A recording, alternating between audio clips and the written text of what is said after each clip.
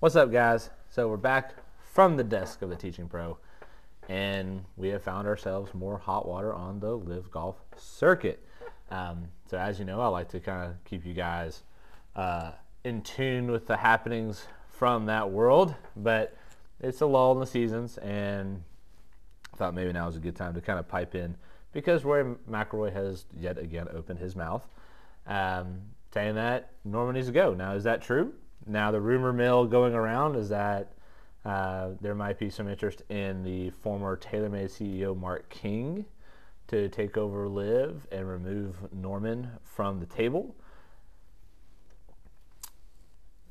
LIV Golf has renounced that and said that Norman is the CEO and commissioner, and anything else is patently false. But that being said, rumors start, usually tend not to be too far behind, is reality. That being said, Rory McIlroy decided to open his mouth yet again and just crap on Norman. I, for the life of me, don't know what happened, and maybe you guys can comment below and tell me what you think, that has gotten Rory in such an uproar against Norman. I mean, Rory and I are the same age. I didn't grow up in the Norman era when he was the best player on the planet. Like, I was being born and barely out of diapers when he was relevant. Um, so the the premise that he's got all this animosity towards Norman, saying that he needs to leave so the adults in the room can have a conversation, is kind of crazy. So again, I don't understand why some of these tour players are so hot and so eager to just trash on LIV. Um, I think it's kind of a poor taste. Honestly, I'm losing a lot of respect for guys like Rory and Justin Thomas with these kind of comments. I think you know you kind of live by that model. If you don't have anything nice to say, don't say anything at all, and they should just do their own thing. And and to that note, Rory and Tiger are now in the throes of starting their own league, uh, Tomorrow Sports, which, mind you, I think's a cool idea. It, it's entertaining to me that you have to be a PGA Tour player to have the to be on a team. So they're talking about three six man teams playing in a virtual stadium league. The way they have it set up on their you know website and the graphics, I mean, seems cool. I think it's kind of amusing that Rory would trash on LIV not being a real golf tournament because it's 54 holes, but then designs a tournament.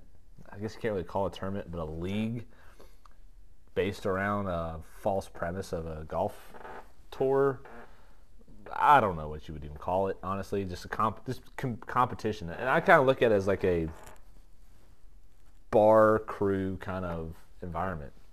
You go rent out a simulator for an hour, drink a bunch of beers, and hoop and holler at your buddies.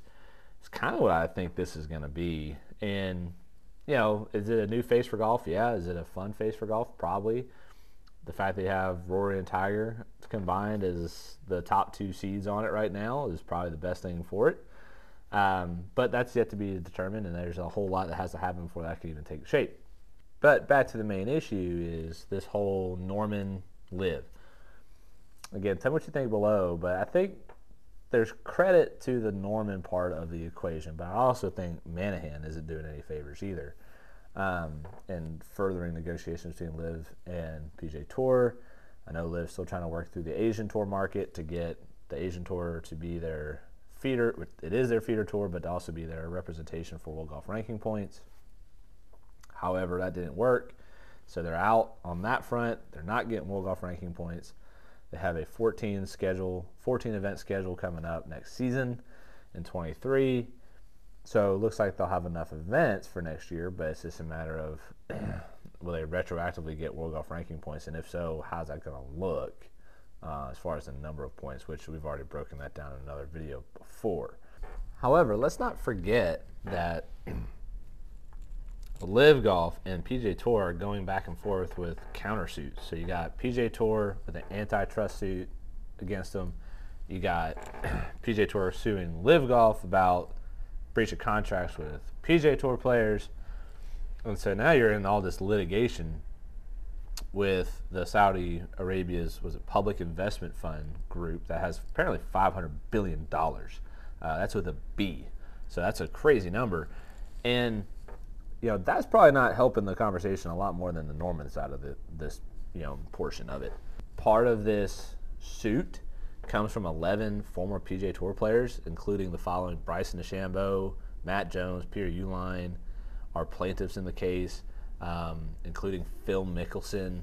Um, but Phil just recently has asked to be removed from the case, so I don't know what's going on there.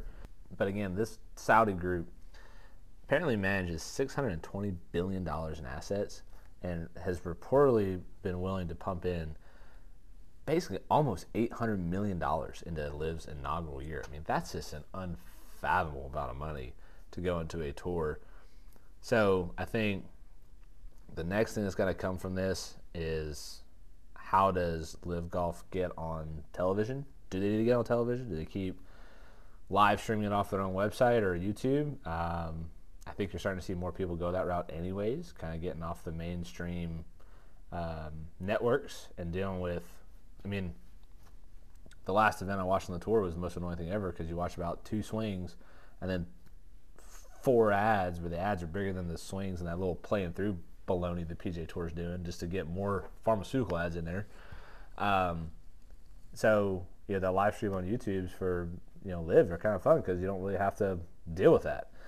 So, but I know that's the next big subject is you know, getting a getting a contract with one of these major networks, and so we'll see what that starts to look like too. So, definitely an interesting time and definitely interesting with regards to the comments being made by all these tour players as the tours continue to fight back and forth.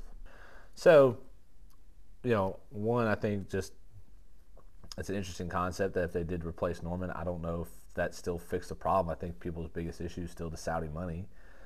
Then on top of that, you know, Pat Perez fires off against Tiger when he was on Butch, uh, Clark, sorry, Claude Harmon's podcast, Son of a Butch, saying that you know Tiger coming out saying what's the incentive is kind of a BS argument because Tiger signed a pretty large Nike contract right out of college that he could have hung up his cleats and not done what Tiger did.